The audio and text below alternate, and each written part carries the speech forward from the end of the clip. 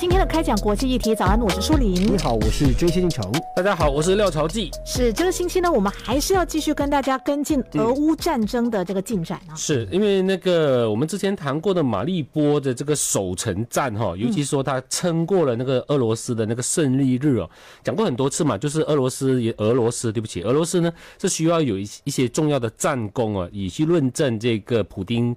呃，特殊军事行动啊，入侵乌乌克兰啊，需要有一些战战功，需要。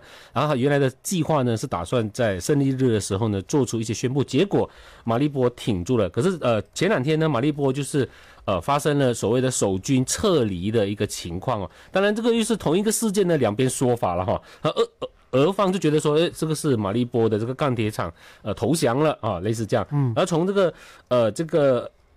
乌克兰方呢，他其实是经过跟这个俄罗斯的谈判，而使得这个呃，他里面守的的那个守军呢，完成了他们的这个呃战斗任务，然后撤离了那个亚速钢铁厂。从画面上来看，是好好多辆巴士车的。好多辆巴巴士车呢进去那个亚亚速钢铁厂呢，大概运走了两百六十名士兵哦，其中呢大约有有五十三名的呃伤势比较严重的士兵呢，已经从这个亚速钢铁厂撤离了。而亚速钢铁厂，对不起，因为马利波为什么重为什么这么重要啊？你从那个泽伦斯基的谈话你就知道了哈。泽伦斯基一直在谈说，哎，我们需要的是保住这个呃死守着这个亚速钢铁厂的呃乌克兰士士兵呢活着，因为呢他们是。呃呃，乌克兰的英雄啊，因为的确在整个俄乌的战争里面呢，从这个马利波被围城，一直都没有办法被完全取下，到这个孤军守着这个亚速钢铁厂呢，一直都被。誉为是一个整个乌克兰向呃世界展现出他们顽强的抵抗能力的这样一个象征呢。因此，这这个事情为什么能够发发生呢？那其实也是因为双方经历经历过谈判哦，交换类似说交换战俘的意思哈。因此，现在呢，就是说这些呃。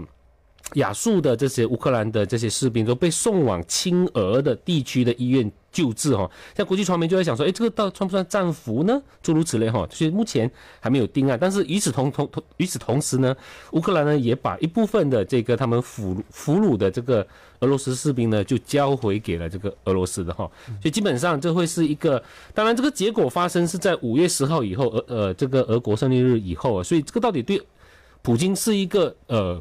喜讯吗？或者是一个呃战胜的一个呃小小的成就吗？看起来好像也不是哈。虽然现在呢，当亚速钢铁厂已经没有守军的时候，名义上呢，整个这个马利波城已经被俄军所完全控制的了。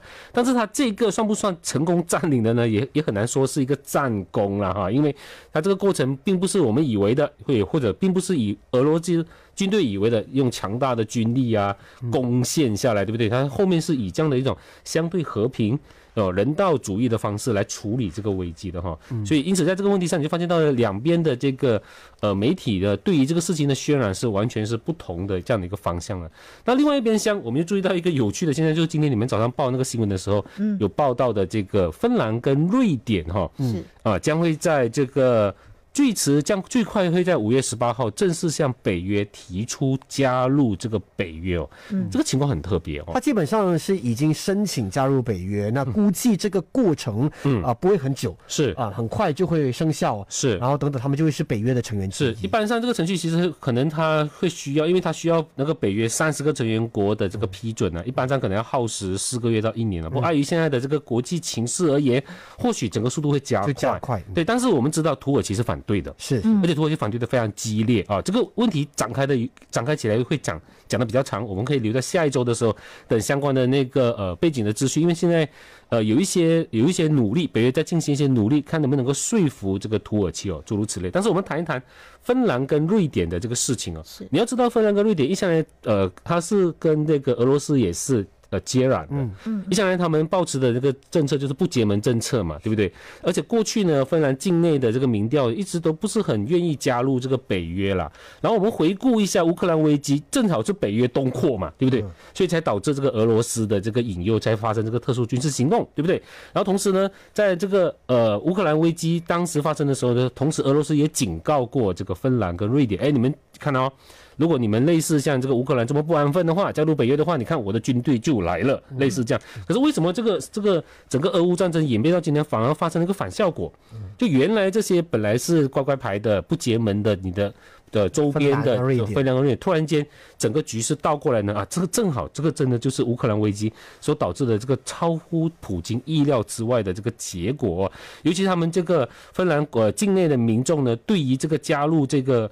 呃，北约的这个民调呢，有超过七成是想要 加入这个北约哦，所以整个的民情就发生了巨大的改变。瑞典也是类似的哈。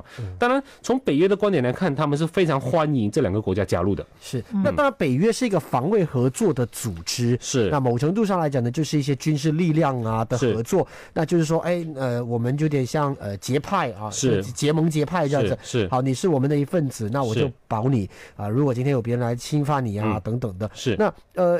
讲是讲防卫，那所谓的防卫军事就去，那他也可以有程度、某程度上以后可能会有进攻的动作啊，等等的侵犯的动作。所以这个就是为什么俄罗斯会一直不满。但是我不晓得普京对于这样的所谓反效果，嗯，原来我的军事力量啊，这个军事呃行动是。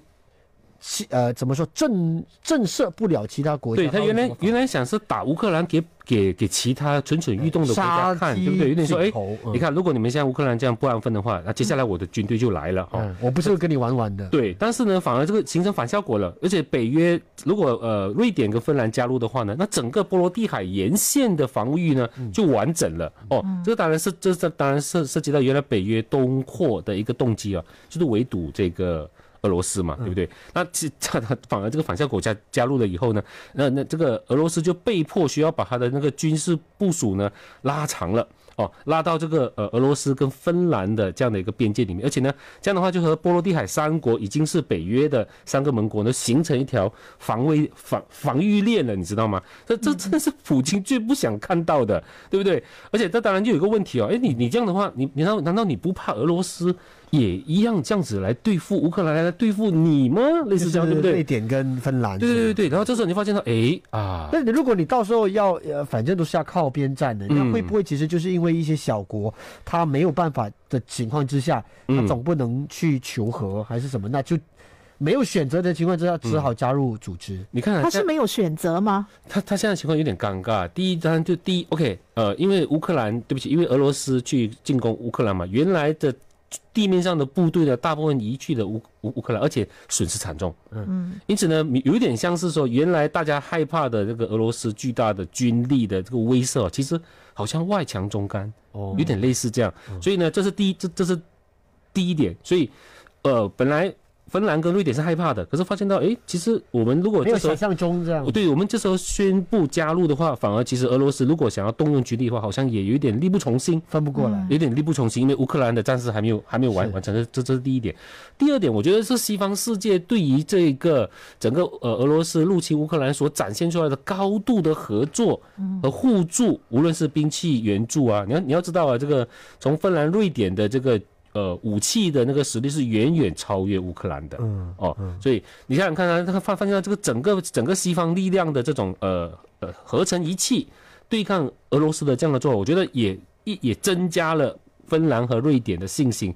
也就是说，它其实是一个博弈。好，你之前警告过我不能靠边站，好，如果我靠边站的话，我可能会变成是乌克兰。好，那我们看看乌克兰发生了什么事？诶。